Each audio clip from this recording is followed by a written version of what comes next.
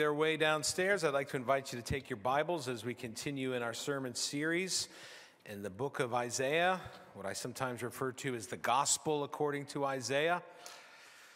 We are continuing in this mini series within the larger book, whereby we are looking at uh, chapters 28 through 33, where the king reigns among the nations.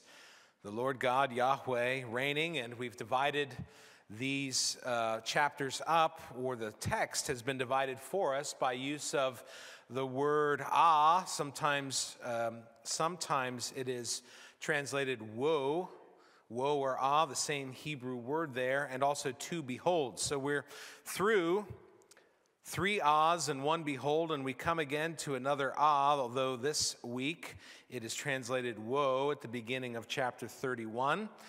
And uh, chapter 31 really does bleed into chapter 32, but we will be breaking uh, the story up or the, the word that God is speaking to Judah up for uh, our purposes by finishing at the end of chapter 31, just the nine verses, and then we'll pick it up again next week. But I'd like to invite you to take your Bibles, to turn with me, or to take a Pew Bible, and I'll invite you to stand for the reading of God's word.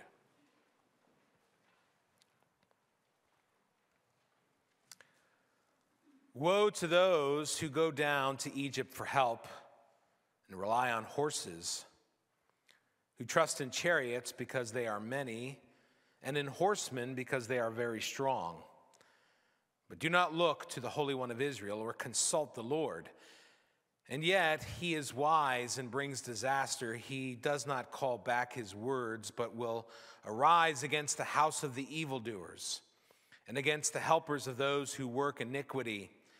The Egyptians are man and not God, and their horses are flesh and not spirit. When the Lord stretches out his hand, the helper will stumble, and he who is helped will fall, and they will all perish together. For thus the Lord said to me, As a lion or a young lion growls over his prey, and when a band of shepherds is called out against him, he is not terrified by their shouting or daunted at their noise. So the Lord of hosts will come down to fight on Mount Zion and on its hill. Like birds hovering, so the Lord of hosts will protect Jerusalem. He will protect and deliver it, he will spare and rescue it. Turn to him from whom people have deeply revolted, O children of Israel. For in that day everyone shall cast away his idols of silver and his idols of gold and your hands ha- that which your hands have sinfully made for you. And the Assyrian shall fall by a sword not of man, and a sword not of man shall devour him. And he shall flee from the sword, and his young men shall be put to forced labor. His rock shall pass away in terror, and his officers desert the standard in panic, declares the Lord, whose fire is in Zion, and whose furnace is in Jerusalem.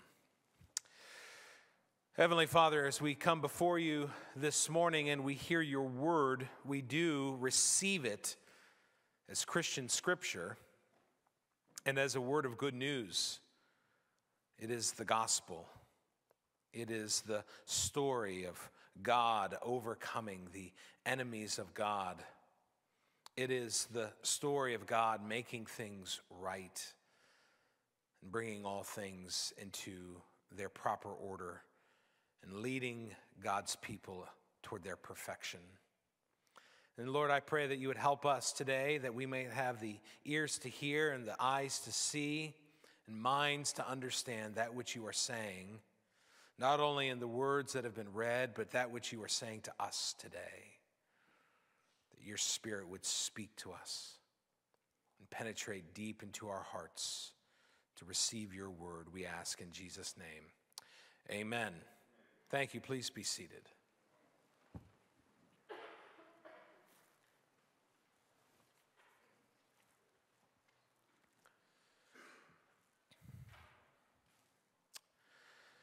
So, being a Presbyterian was now a disaster.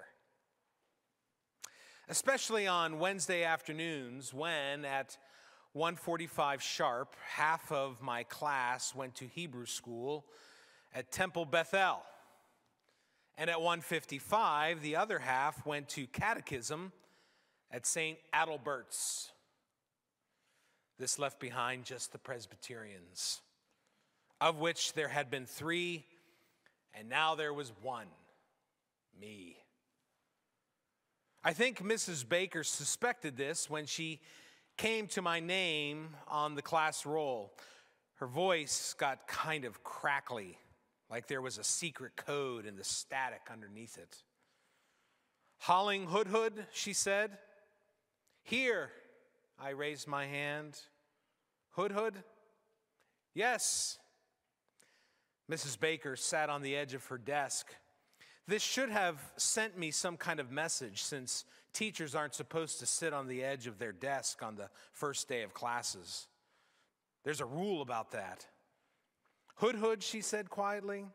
She thought for a moment. Does your family attend Temple Bethel? She said. I shook my head. St. Adalbert's, then? She asked this kind of hopefully. I shook my head again. So on Wednesday afternoon, you attend neither Hebrew school nor catechism. I nodded. You are here with me? I guess, I said. Mrs. Baker looked hard at me. I think she rolled her eyes. That's when I knew that she hated me.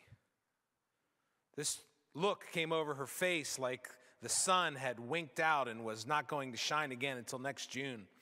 And probably that's the same look that came over my face since I felt that way, uh, the way that you feel just before you throw up, cold and sweaty at the same time, and your stomach's doing things that stomachs aren't supposed to do, and you're wishing, you're really wishing that the ham and cheese and broccoli omelet that your mother made for you for the first day of school had been Cheerios, like you really wanted, because they come up a whole lot easier and not yellow. If Mrs. Baker was feeling like she was going to throw up too, she didn't show it. She looked down at the class roll. She would call a name, find a hand, and then look at me again. She did this every time she looked up to find somebody's hand. She was watching me because she hated my guts. I walked back home slowly that afternoon. How was your first day? My mother said. Mom, I said. Mrs. Baker hates my guts. That was an excerpt from Gary Schmidt's book, The Wednesday Wars. I had the privilege of meeting uh, Dr. Schmidt a number of years ago at Calvin University for a seminar that I was a part of that had to do with literature in the church. And he shared a little bit of his upbringing, which is alluded to in this book, Wednesday Wars. It's a delightful coming of age story about Holling Hoodhood and his seventh grade year with Mrs. Baker and how they came to eventually appreciate and care for one another by the end of the school year because of circumstances around the Vietnam War that brought them together. I can't help but think of Hudson. You need to read this book. You have read it. Okay, good. Did you like it? It was a good book. Maybe it'll be a part of the academy someday, Dr. Bennett. It's a great book to read. The beginning of the relationship between Mrs. Baker and Holling Hoodhood was rough. It was not an easy or smooth relationship. Schmidt describes the insecurity and the uncertainty that Holling has at the beginning of the year. Holling is nauseous. His stomach is doing flips and twists and turns. And he starts to feel overwhelmed as this gnawing sensation grows within him, as this doom and, and loom starts to set itself overcast over his body with the assumption that Mrs. Baker really hates his guts. Nothing affects the body, nothing affects the mind, nothing affects the soul, quite like insecurity. Teenage insecurities often grow up to be adult insecurities. And as we get older, the temptations to believe falsely, the temptation to believe untruth, to believe the perceptions that are developing in our minds, and to behave in such a way as to try to ensure our own security, the temptation to grasp things by our own power, if left unchecked, can become very strong indeed. Very great. There's a situation arising in Judah. Situation that is causing great insecurity among the people of God. And Isaiah is given a word.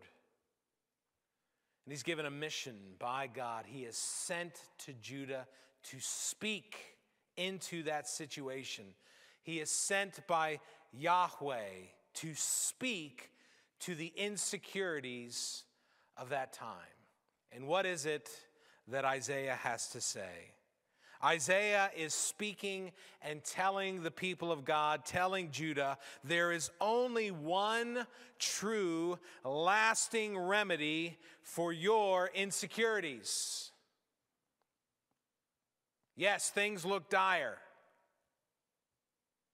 Things look problematic. Perhaps your stomach is twisted into knots. You're feeling the cold sweat.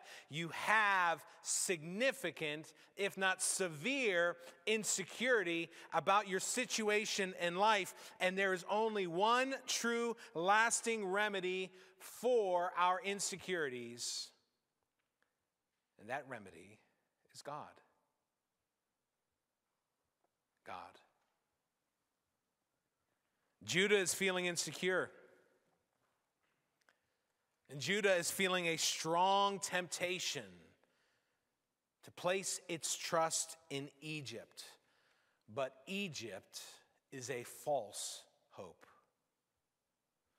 And Isaiah is saying, you can't feel secure when you are holding on to something that won't deliver. You see, your insecurities are being compounded. You're feeling insecure because there is this threat, but you are feeling even more insecure. If you don't even realize it, I'm here to tell you your insecurities are worse than you think because you're holding on to something, you're grasping for something that will not ultimately deliver you. You cannot hold fast to the truth, and you cannot hold fast to God's great deliverance if you are holding on to a lie.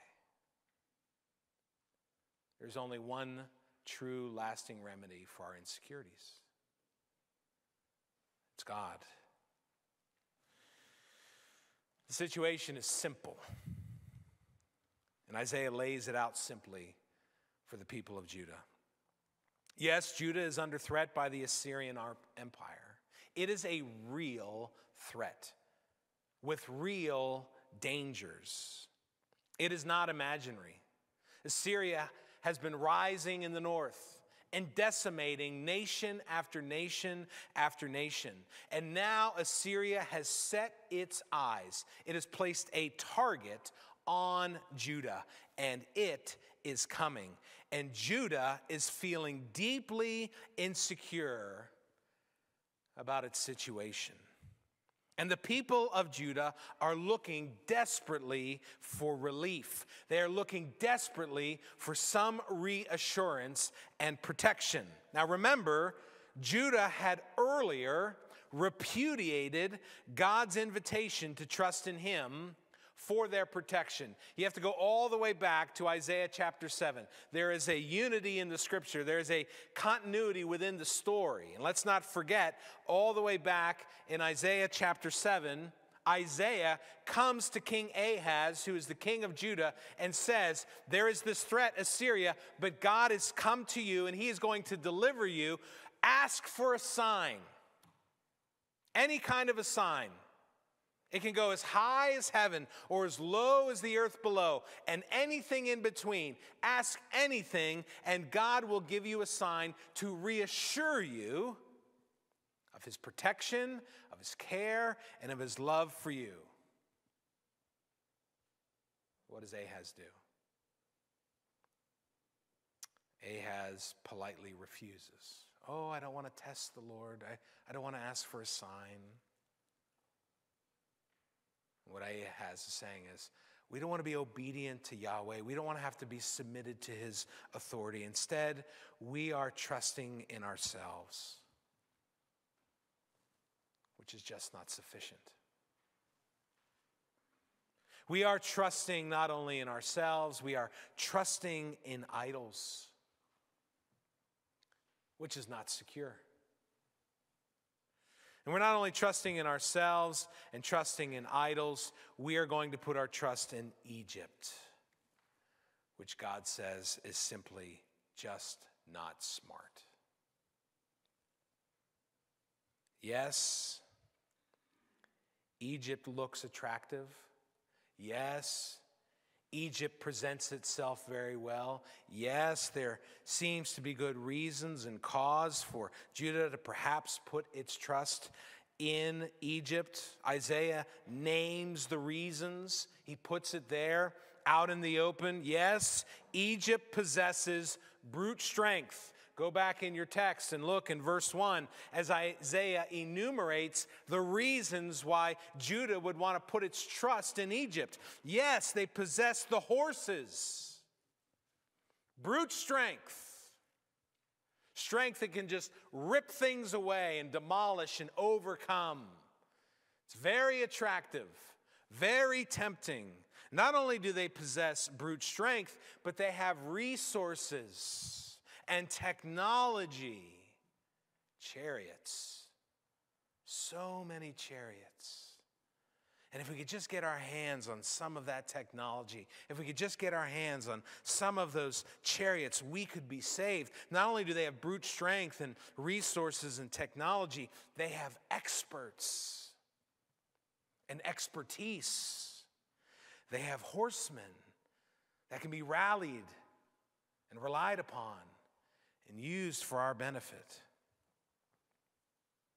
These become the objects of Judah's hope. And God says, This is not smart. And while the feelings of insecurity are sometimes understandable, sometimes there are legitimate reasons to feel insecure.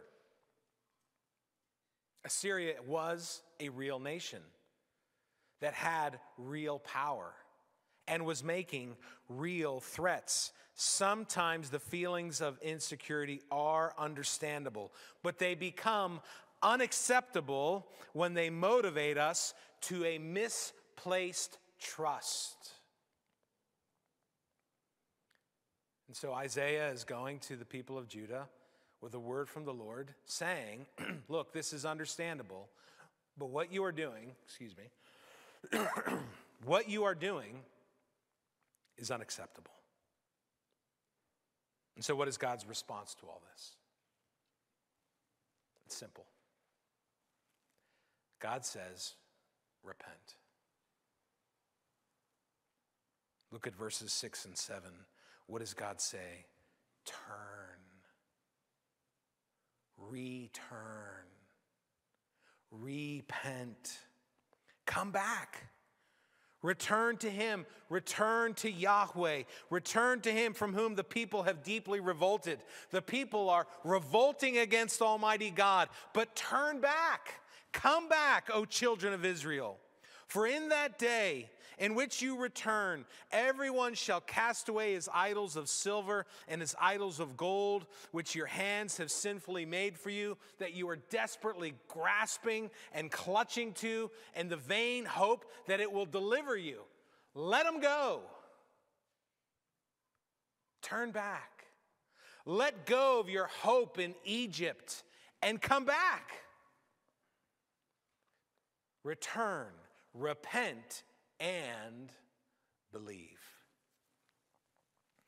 Verse 8 And the Assyrian shall fall by a sword, not of man, and a sword not of man shall devour him. Who will deliver you from your bondage? Who will deliver you from the threat of Assyria? God says, I will. Repent and believe. Insecurity, according to our text, is a function of idolatry.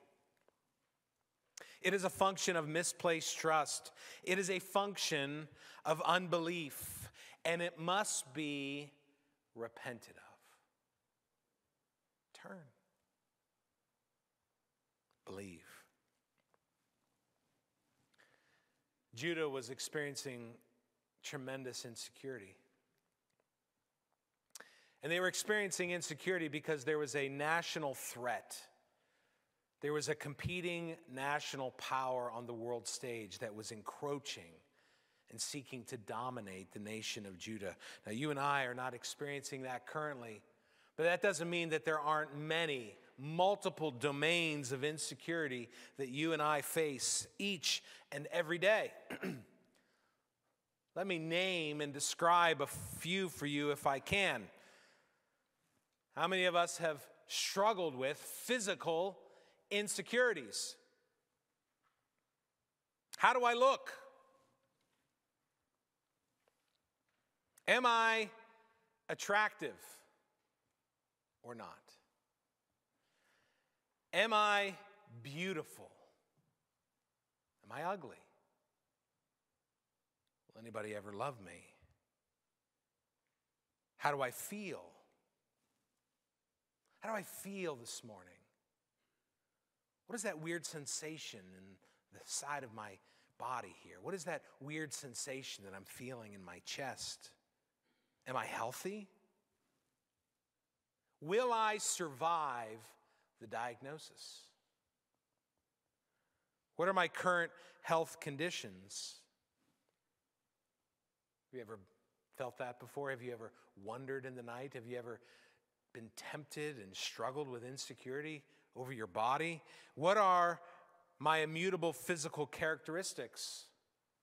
My skin color, my hair color, my height, my weight, will they be liabilities to my future and my future happiness?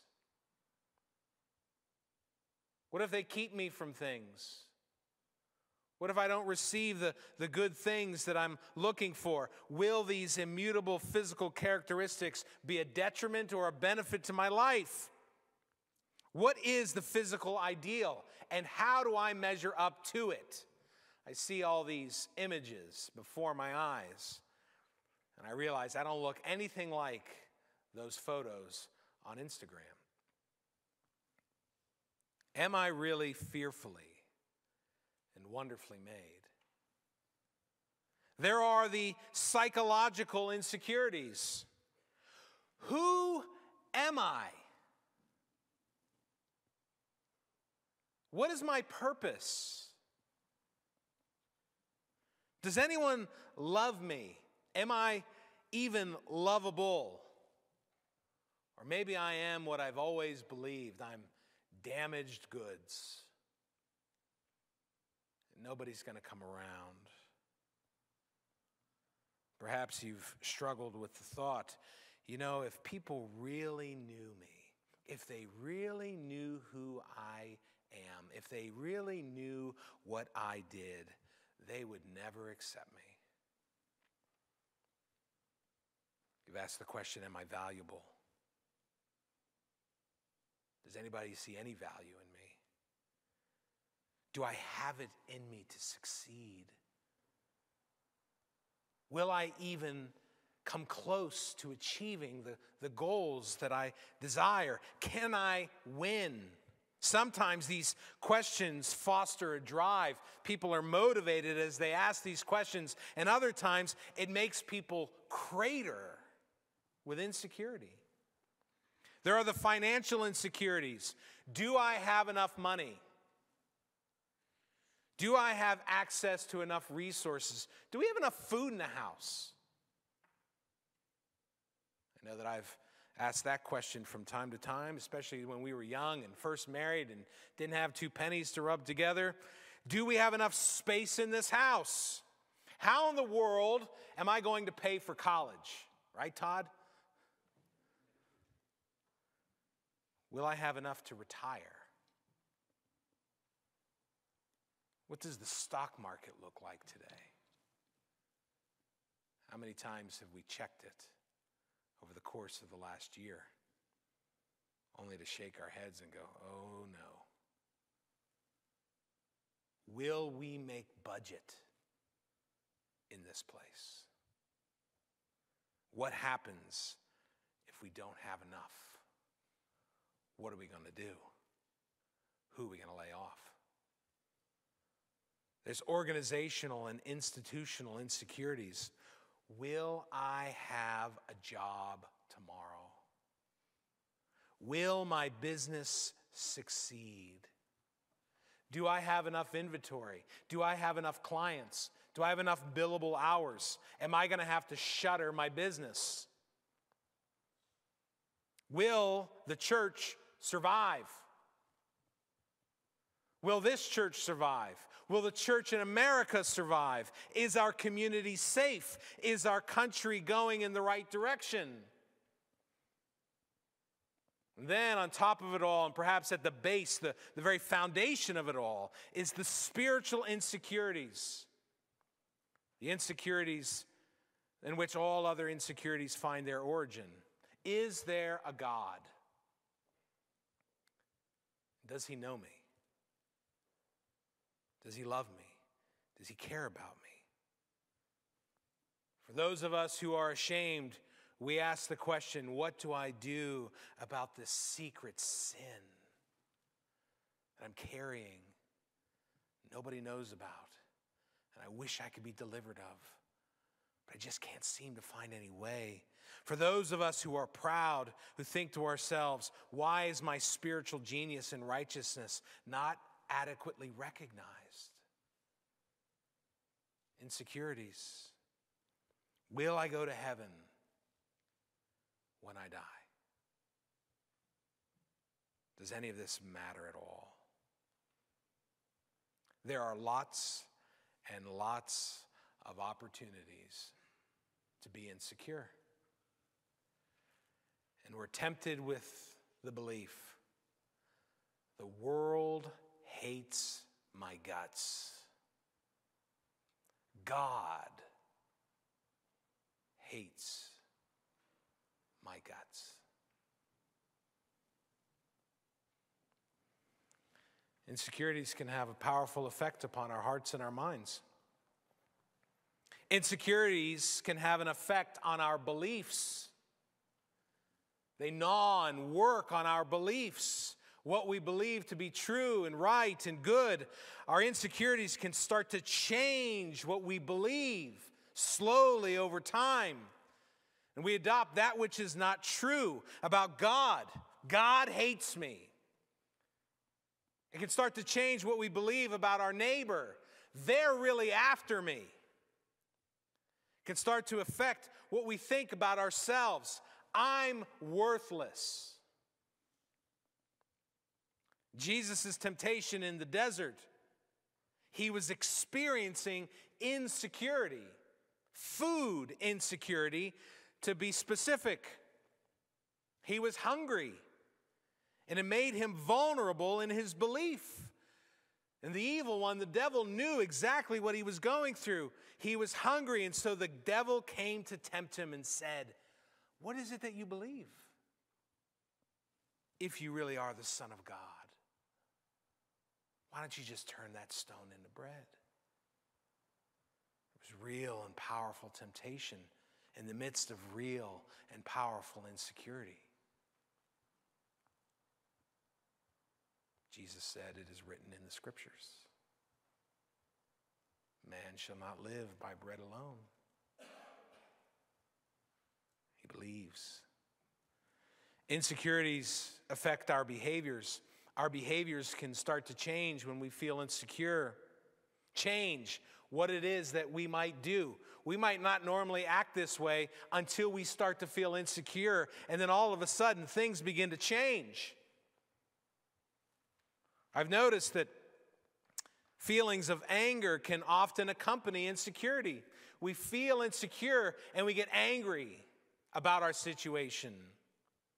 And we can lash out at other people. We can become erratic in our behavior, coercive, manipulative, because we're insecure.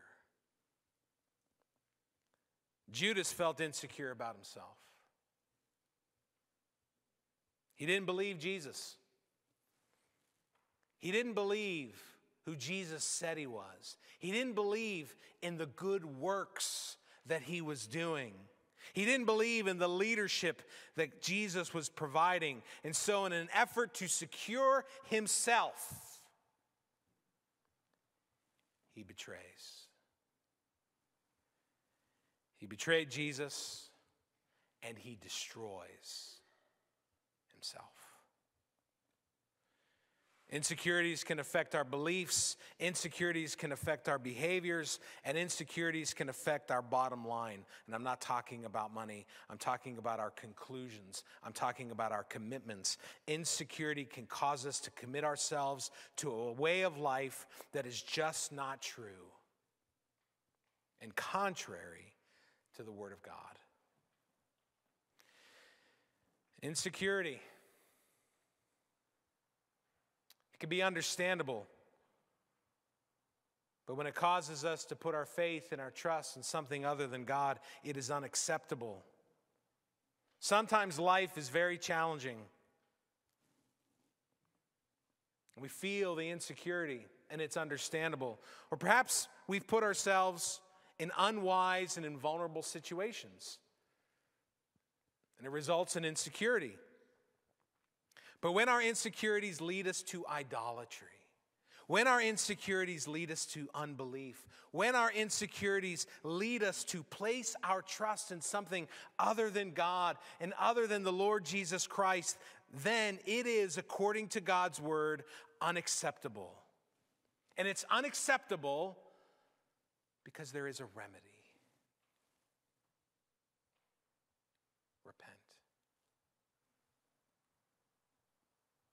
We are not just invited to repent. In the midst and in the moment of the fierceness of our strongest insecurity, we are not just invited by God as if He's saying, Come on to me and, and, and turn back to me. No, He commands us to repent. You must turn.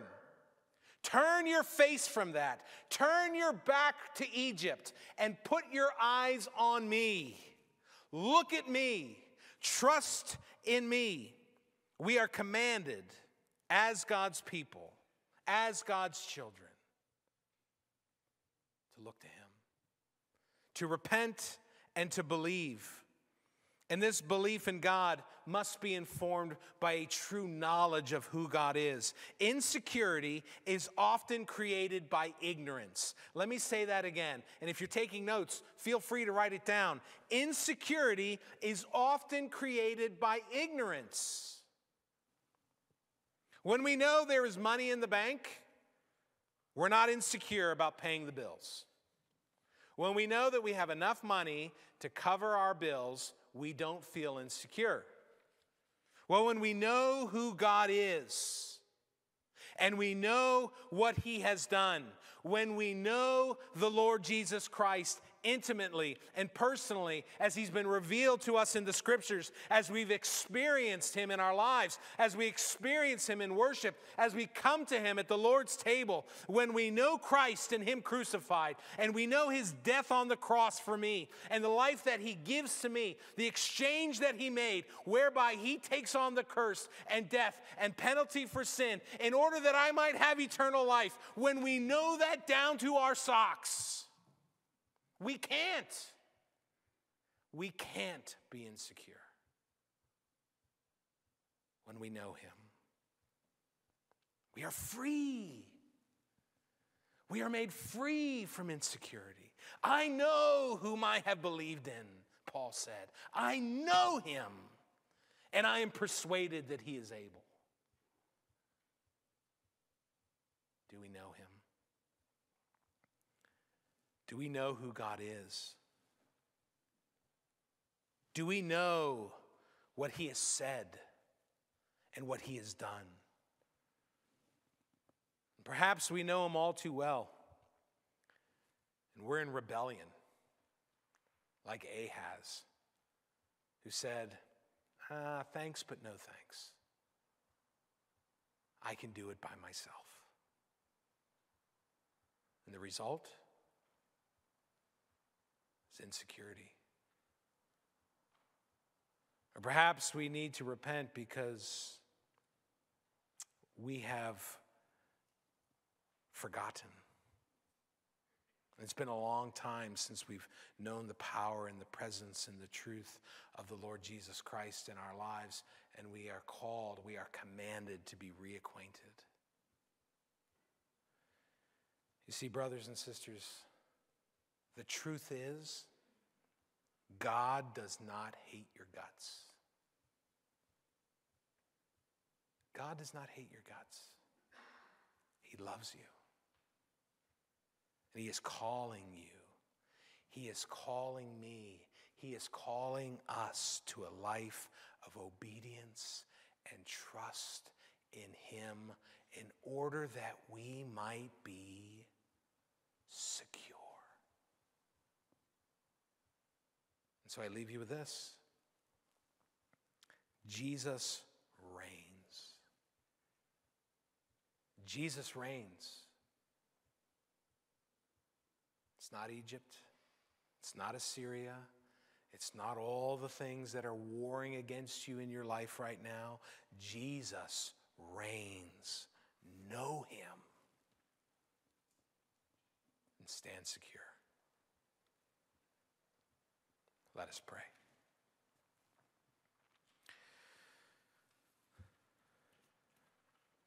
Oh Lord, I'm reminded of the great hymn, Jesus shall reign